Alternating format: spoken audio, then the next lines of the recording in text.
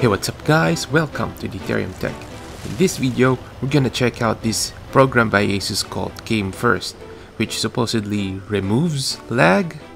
Yeah, that's what it says, it removes lag from computer games, from online games actually. And as you can see, I'm download downloading something from Steam.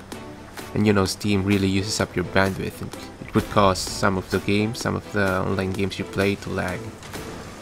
I'm gonna try out some settings and there. Well, normally I'd get 50 milliseconds from this game, from World of Tanks. Now it's getting to 260, 300, 400. Well, maybe I got some settings wrong. So supposedly I should be able to select what programs are prioritized by game first. So let's look for the World of Tanks executable. Try this.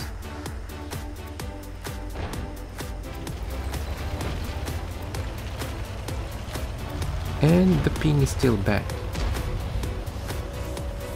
It's going from 150 to 400. So I really probably had gotten some settings wrong. So let's look for what we should change. Ah, there it is. The World of Tanks executable. I actually set the launcher to highest, so you should you should set the World of Tanks .exe to highest priority. Now let's see. So here's my download, it's at around 950 kbps and my ping is 160, 200, 300. It's still bad. You won't be able to play properly with this kind of ping.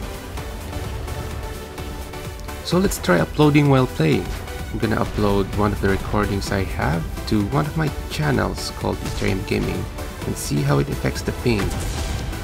And it's still bad, around 200 milliseconds.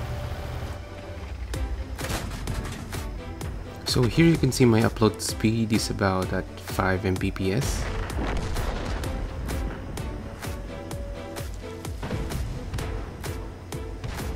So let's set this to manual so we could select wait.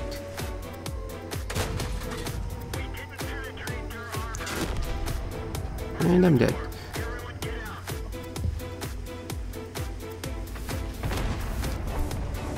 Alright, so let's set this to let's set this to normal and let's set World of Tanks to highest. See if that changes anything. And nothing. Still the same 200 milliseconds.